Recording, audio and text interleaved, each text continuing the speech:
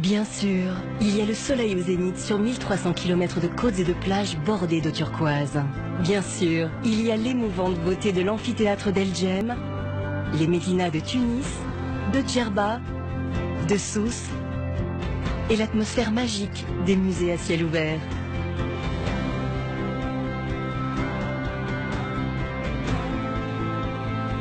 Bien sûr, il y a le désert, tantôt jaune, tantôt rouge, et ses oasis de verdure.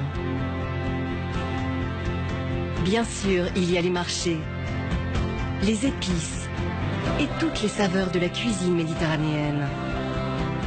Mais le monument qui rend la Tunisie incontournable, ce qui rend ce pays unique et inoubliable, c'est le sourire des Tunisiens. Retrouvez le sourire, il est en Tunisie